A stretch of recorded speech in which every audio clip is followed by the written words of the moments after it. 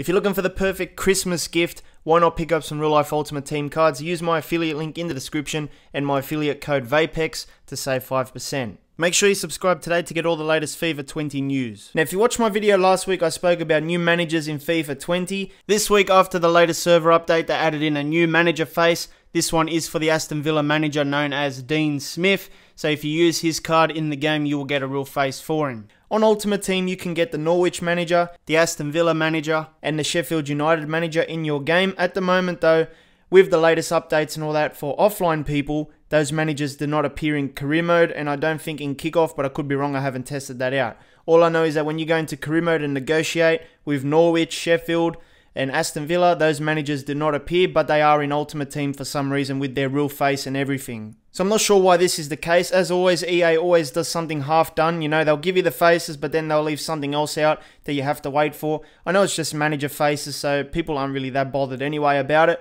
But I would have liked them to just do a perfect the first time, you know, just give us the complete package like it is on Ultimate Team already and you know, so we don't have to complain about these little things. One manager that got removed very recently was Pochettino from Spurs, or the ex-Spurs manager now, and he's got a generic guy now replacing him, and I do presume they will throw in Jose Mourinho very, very soon in a future update. I can't tell you which one it is, but I presume they're going to give him the real face because uh, he's back now in the Premier League, and he always had a real face in older FIFAs as well. So I'm sure he's coming soon, but right now he will just have a generic face. If you need something else to watch, make sure you click the card in the middle. It'll take you to another video of mine. I'll see you next time.